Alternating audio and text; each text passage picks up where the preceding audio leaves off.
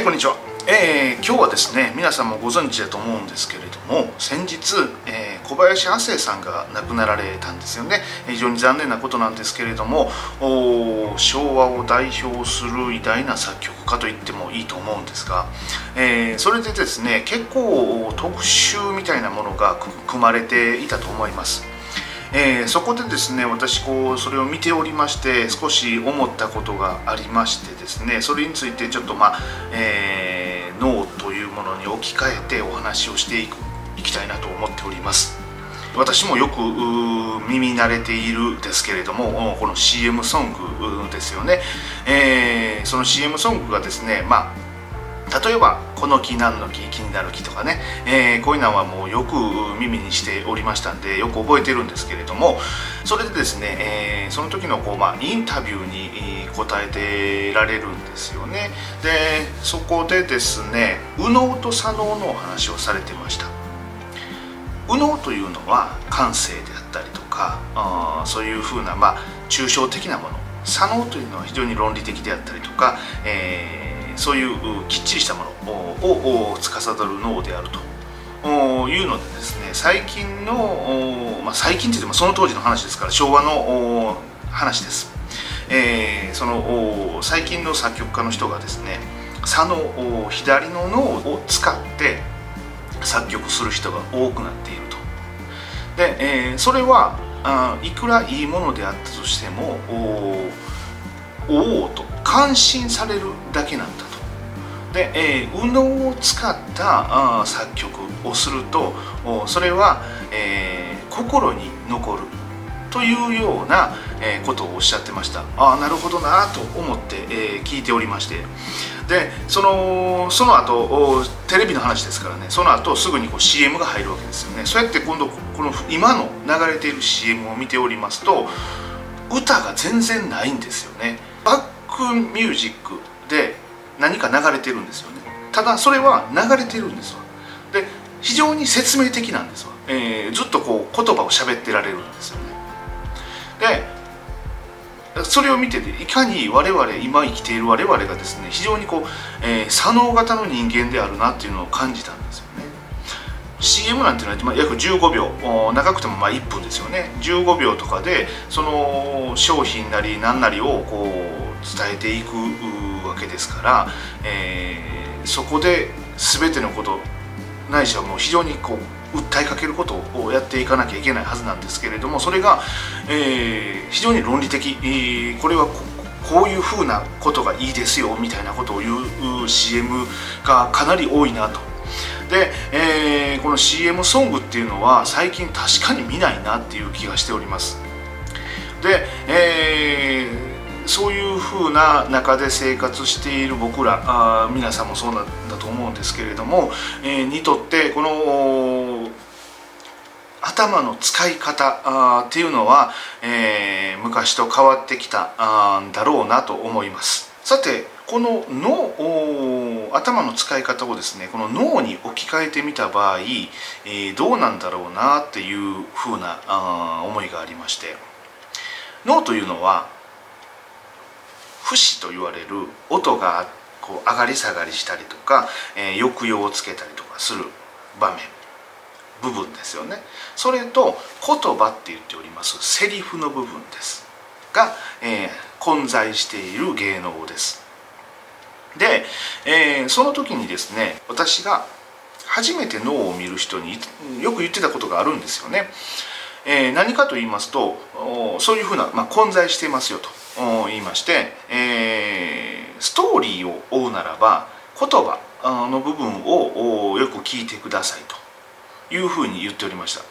で、えー、確かに、えー、そうなんですよね。言葉っていうのは例えば脇の誰それさんと視点の誰それさんがこう会話をしてるわけですからこのストーリーを、まあ、展開していくにあたって分かりやすくなってきますよね。えー、それをまあメインに見てくださいというふうなことを言ってたんですけどもこの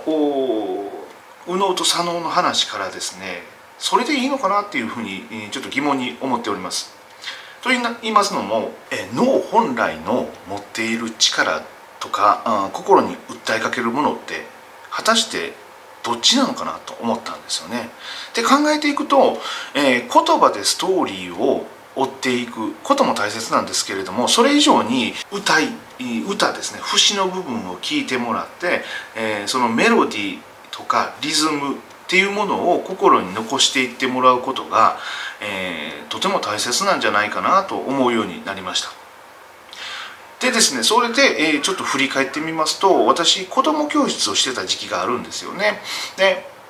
その子どもたちって基本的に、まああの、本とかまだ読めないような小学校に上がるまでの子ど子どもたちから小学生ぐらいの子をやってたんですけれども十何人教えてたんですけれど歌いじゃなくて姉妹の稽古をしてたんですよね。まあ、歌いっていうのも本見えないわからん読めないですからね。で姉妹の稽古をしててあ姉妹しかやってないんですわ。だけど何年か例えば5歳の子供がですね678歳ぐらいになって「あの曲ってやったっけ?」って聞聞くんですよね。分からへんとか言いよるんですわ。えー、とそりゃそうですわね曲名も覚えてない感じなんですけれどもでえっ、とあの曲、えーと、こうやってパラパッとこう歌うんですよね歌うとね覚えてるんですわで型は覚えてないです型は全然覚えてないんですけど歌いは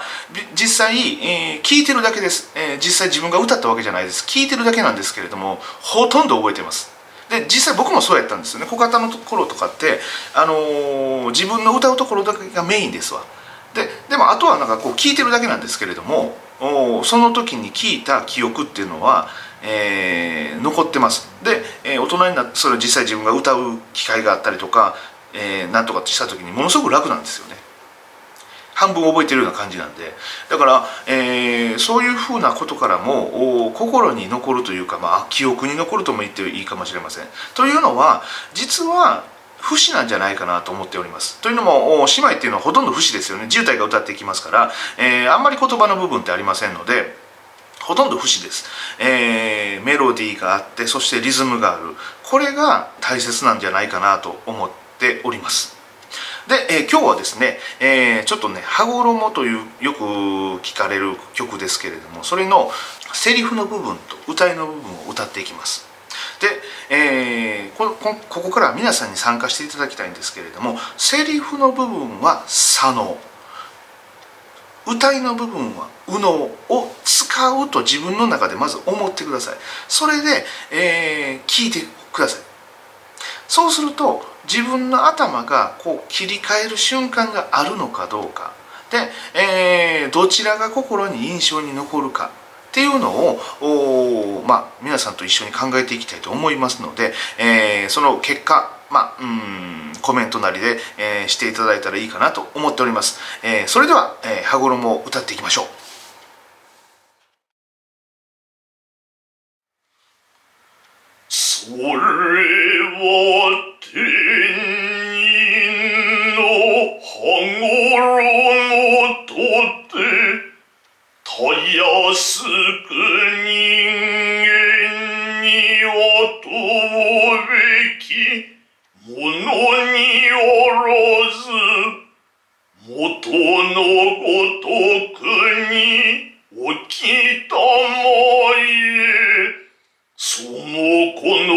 の衣の主とはさては天人にて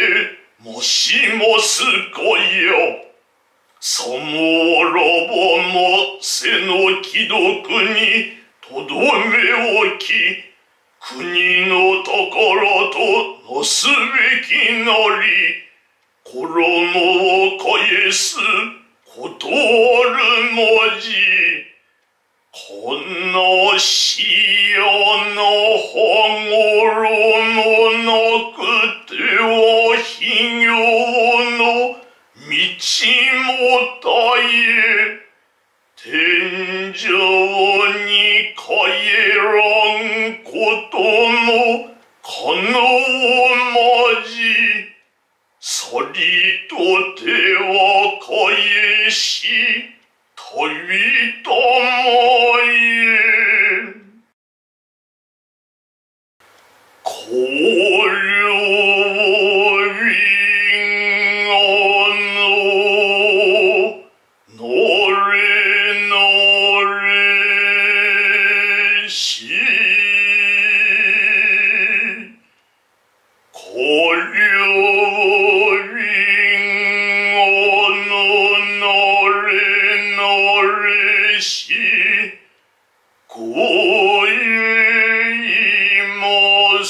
for on ye was.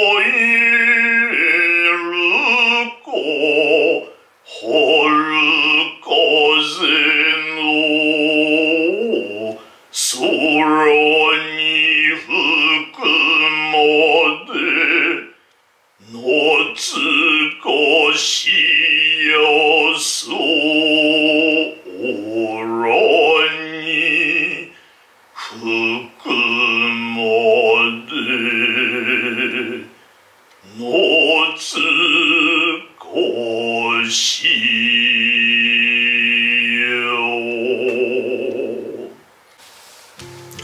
はいかがでしたでしょうか、えー、今回はですね、えー、小林亜生さん追悼という形でですねあの方の考え方をからですね私が、えー、この脳というものがどういうふうなことで皆さんにお伝えできるのかっていうのを私なりに考えた動画を作らせていただきました。えー皆さんがどのように思われたのか、うん、少しまたコメントをいただけたらいいかなと思っております。それではまた次回の動画でお会いしましょう。